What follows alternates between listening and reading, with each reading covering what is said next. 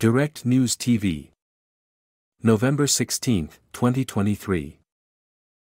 UK's newly appointed top diplomat makes surprise visit to Ukraine. The United Kingdom's newly appointed Foreign Secretary, David Cameron, has made a visit to Ukraine to underline British support for Kiev amid its ongoing war with Russia, according to his office. The former Prime Minister, making his first working trip abroad as Britain's top diplomat, told Ukrainian President Volodymyr Zelensky that his country would support Ukraine for however long it takes. I wanted this to be my first visit, Cameron said. I admire the strength and determination of the Ukrainian people. He was named Foreign Secretary on Monday in a surprise cabinet reshuffle.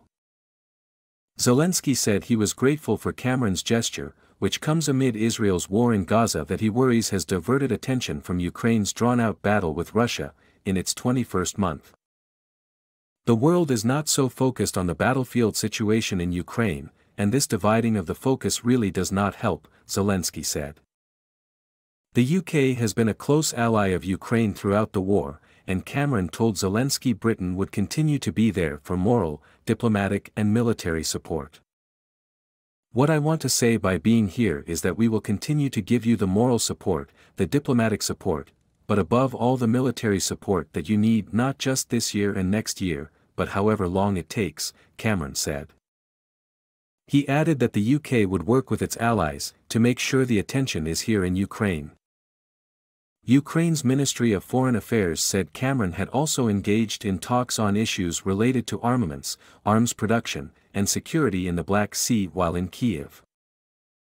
Ukraine did not say when the talks took place. Due to stringent wartime security regulations, the details of foreign dignitaries' trips are sometimes released late. As of last month, the UK said it was second to the United States in providing military funds to Ukraine, giving £4.6 billion, $5.7 billion, worth of assistance and training 30,000 Ukrainian soldiers on British soil.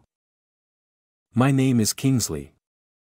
Please like, share, subscribe and hit that notification bell so you can be the first to be notified whenever we post you won't regret it.